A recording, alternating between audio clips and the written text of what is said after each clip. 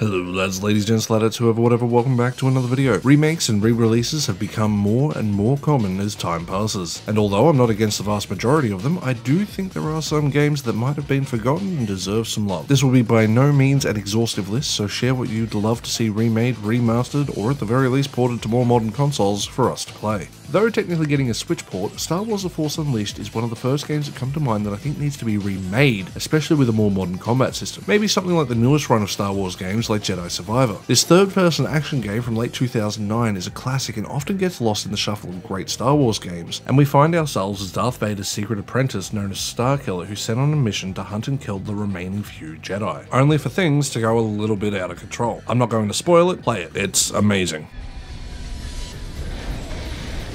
Not too long ago, at least at the time of writing this script, in a Discord that I'm in, someone brought up the Yakuza games and was talking about how they're collecting them all. Yakuza, you might ask, with a puzzling infliction, considering how easy it is to get your hands on these days, but there was a little known game from the Yakuza series known as Yakuza Dead Souls. It was a PS3 exclusive. It's a zombie spin off game that does what you think a zombie spin off game would do. It's somehow a weird mishmash of horror and comedy in a way that only the Yakuza games could do. I wouldn't necessarily want a remaster of this game per se, but a port to modern consoles would be nice. And and that's mainly because even though I'm fortunate enough to have a copy that I got for like 50 bucks many years ago, it can cost hundreds if you want to get your hands on the English copy of this game. The plot of the game is about what you would expect. There was a sudden zombie outbreak and shit hits the fan. It's not necessarily the best zombie game that was ever made, especially in this time period, but hey, it'd be fun to just have.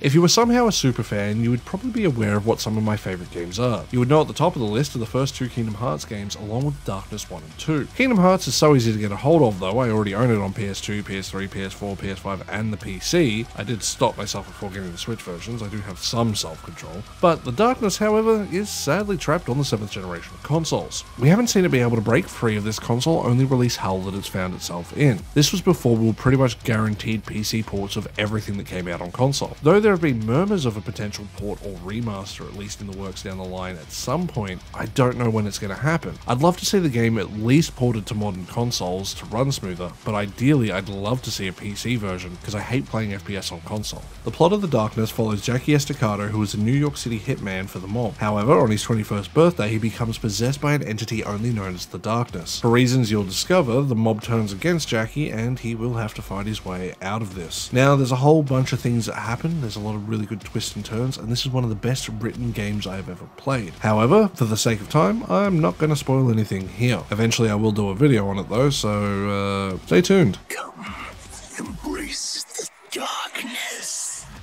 Back in the early 2000s, EA Sports Big released a series of sports games known as the Street Series. From FIFA to the NBA and NFL, they made most of the traditional sports games seem pretty boring. This was due to their over the top animations and the lack of rules that they would follow. Everything about them was overly exaggerated. From the game's different cast of characters being mixed with actual sports stars, it made things an absolute riot. With a focus on fun instead of the simulation, the Street games were unforgettable, and it's a shame the series as a whole has died off. It's not to say say we need yearly releases like every other sports title, because honestly, I think that would actually ruin the allure of them. However, once every 4 or 5 years, kind of like a Mario Kart, would be nice to see. Now, I can't really give you plot summaries because they're sports games, but look at them. They're stupid and fun. So I'd love to see them get remade, especially with modern online support. It'd be awesome to be able to sit there and play with friends.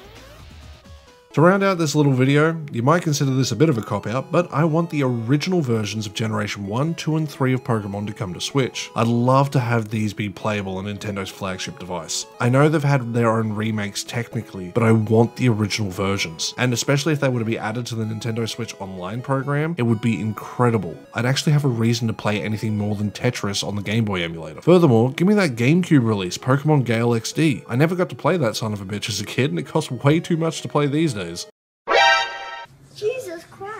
So with that, lads, ladies, gents, ladettes, whoever, whatever, it brings us to the end of another video. I know this one was a bit of a shorter one, but as I mentioned in my update video at the start of the year, slash end of last, I am going to have these as little extra videos. They aren't going to be super high effort or anything like that, but I don't want them to be complete and utter trash. I hope you enjoyed, and again, if you have games you would love to see remake remastered, let me know down below. This is a video topic we will eventually revisit. I want to thank you all again for watching. If you enjoyed this video, please consider hitting that like button. If you want to go that extra step, you can hit the subscribe button. If you want to go that extra mile, you can support me on Ko-fi for just a dollar a month, like these lovely people here.